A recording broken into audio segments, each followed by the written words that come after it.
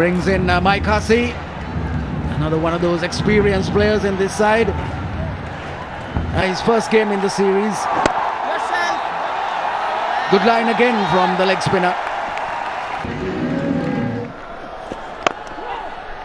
Such a good sweet timer of the ball. That really is one special drive from Hussey. Good use of the feet and finding the gap. That's a fabulous shot. It's not easy to keep your balance when you're on the move, but uh, look at that stride forward, a little adjustment and going to the pitch of that ball. And in control, the timing perfect. Look, two steps forward, smack in the middle, the angle of the bat. Reverse sweep connects really well. Using the pace of the ball and uh, he earns a good boundary here. Good thinking, smart thinking from... Despite that, he knew there was nobody fine. What short third man or third man would have... That's a lovely shot. Sweet, sweet shot played by Michael Hussey. Easing that ball across the rope.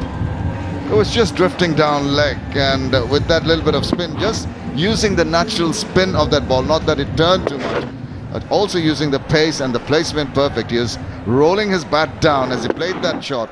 The ball went all along the ground. That's much better. He heard you, Athar Ali Khan. I'm sure as a captain, you would have been talking to your spinners uh, the time when you were playing.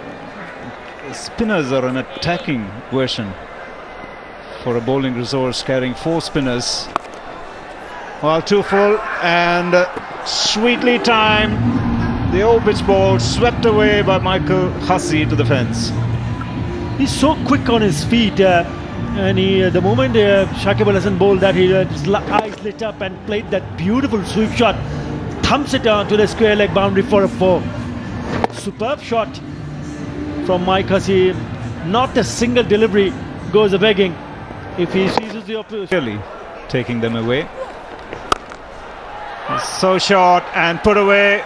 Brings up Hussey's half century with that big pull. Uh, 222 for three. So Hussey gets to his 35th ODI 50. Short ball, begging to be punished. And he was aiming over the short mid-wicket fielder inside the ring. And then realizes that he's got to a milestone there. Well, obviously sweating profusely there. 15 the ball. Put away to the square leg fence. Poor delivery. He's had a poor time there, but uh, is certainly enjoying himself. Well, uh, that's what can happen. Uh, there was an opportunity. Had he uh, uh taken that uh, throw and uh, pulled the stumps, then I would have broken the partnership. But in the very next delivery, he's bowled down the wrong line and been punished.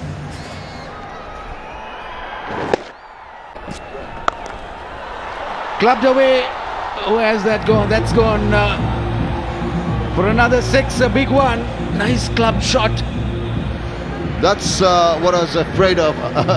Ranil was mentioning that he persisted with Shafiul Islam after seeing uh, Mashrafe Mortaza being clobbered away in the previous over. And unfortunately, same kind of result. Uh, shows a little lack of depth in his captaincy. He should have tried and slow it down into the last 10 overs and bring in the spinners. He's got five of them, including the captain himself, comfortably for four runs. Well, that's middle beautifully. That is one enormous hit from Michael Hussey. Pure timing, class, and bit of power personified in that shot. He's a complete batsman. He'll work the singles and then at the death part of the innings, he can produce something as sensational as this. Full toss, looking for the Yorker. I still haven't seen a Yorker, Wasim Raja. I just, and a bouncer. I'd like to see a genuine bouncer now, one that's going to hit the batsman, you know, shoulder.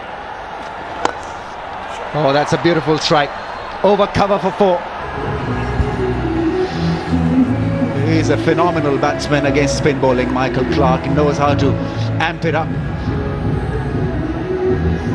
Have a look at this glorious footwork and this great finish. Inside out drive, always lovely to watch. And it's the timing, isn't it? It's not like Watson just smashing it. It's the balance, the still head, the good use of the knees. Then hands through the ball again. And over extra cover for another boundary, consecutive boundaries to take Mike Hussey to 98. There was a slight opportunity for Shakib Al Hasan. He's standing way back at cover. Once again, trying uh, his hand at the same shot. Oh, that really should have been caught. It wasn't such a difficult take. He bowls the pressure overs at the end. Plays the cut shot and gets his 100.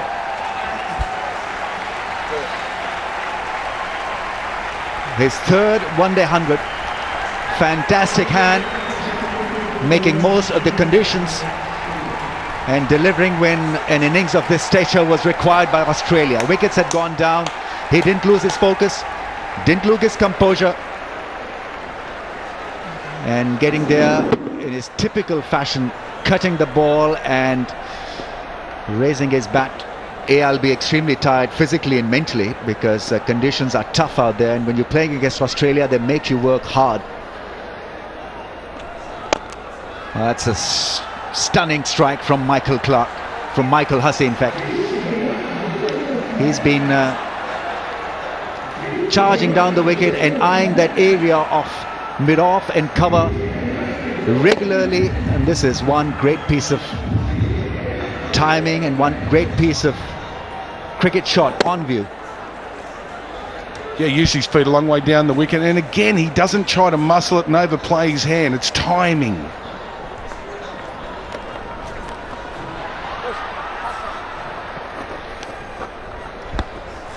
So coming back to your point, I'd be uh, really trying to go out there with a purpose. A, to survive the new ball, and B, to go out there